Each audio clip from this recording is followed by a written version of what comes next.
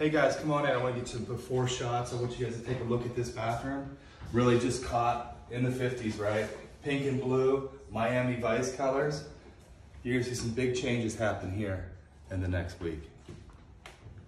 This is just absolutely amazing. Come on in. So we were able to actually move the shower from this corner over here and move it over here and get the toilet back in this corner where it's much better place. Still were able to fit a large shower and a tub in the space. We, were, we, we demoed the, the existing tile, which was about this thick, full of concrete. Uh, we brought it back up. Now we're almost level with the floor out there. The best part is, the best part's the shower, but this is pretty exciting too. We added a pocket door. Um, pocket doors make a lot of sense in some in, in some applications. Um, this one made a lot of sense because if you look in the hallway, you have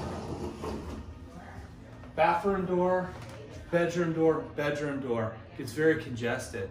These swing in, this would have swung out. It was just a lot going on here. This is a, a really, really good solution. Uh, moving the window over to the corner by the tub made a ton of sense for us. That allowed us to do a vanity. This is actually a temporary vanity. This isn't gonna stay. They're still waiting for the, the other one to order, but I mean, it looks amazing. Uh, just the space planning here. Uh, we had an amazing team.